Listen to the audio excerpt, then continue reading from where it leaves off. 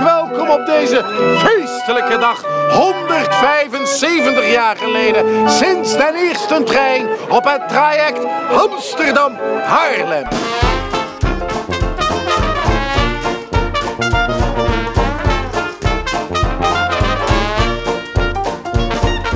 Mevrouw, u bent erbij. U maakt ermee vandaag 175 jaar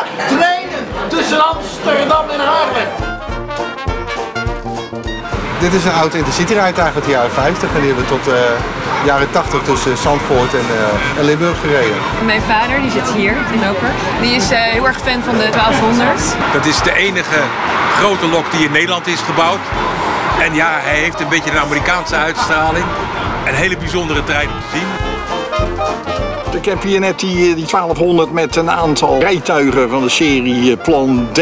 Twee stuks, uh, turquoise, Berliner Blauw en Plan 1 en de Plan Willem uh, gefilmd. Ik ga met de historische trein zelf ook, maar dat is vanmiddag pas. Nou ja, dan ga ik daar uh, een beetje van genieten eigenlijk. Het is grandioos.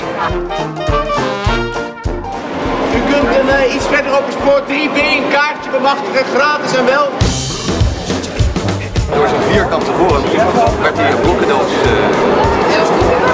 Is het pad 24 in het jargon. Ik vind het leuk dat hij bewaard geweest is. Want hij rijdt misschien twee, drie keer per, per jaar door Nederland. Het is altijd leuk om te zien rijden. En ik kreeg een droom. Voor hen, nou, voor iedereen die reizen moet. Let's go!